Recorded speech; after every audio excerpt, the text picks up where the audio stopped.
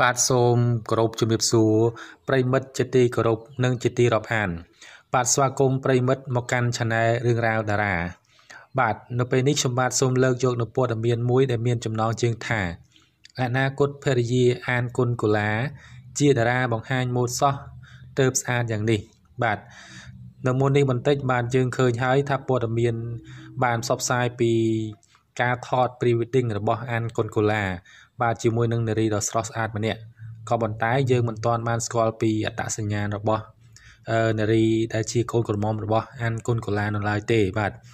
បាទដល់ពេលនេះខ្ញុំបាទសូមជម្រាបជូន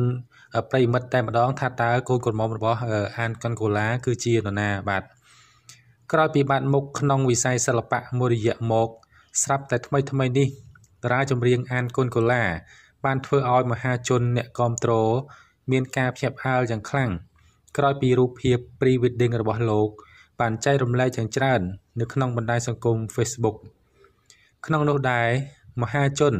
អ្នកគ្រប់គ្រងបានលើកឡើងថាអនាគតភរិយារបស់អានគុណកូឡាពិតជាស្រស់ស្អាតយ៉ាងខ្លាំងបាទជាស្ដែង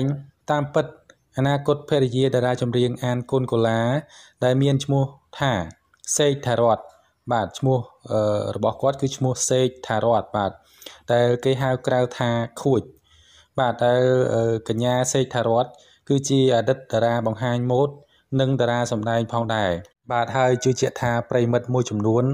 ប្រកាសជាបានស្គាល់ហើយដោយសារគាត់គឺជាតារាសម្ដែងផងដែរហើយក៏ដូចជាតារាបង្ហាញម៉ូដផងដែរបាទដែលឈ្មោះហៅក្រៅរបស់គាត់គឺឈ្មោះខួច ហើយឈ្មោះក្នុងរបស់គាត់គឺហៅថាសេកតារត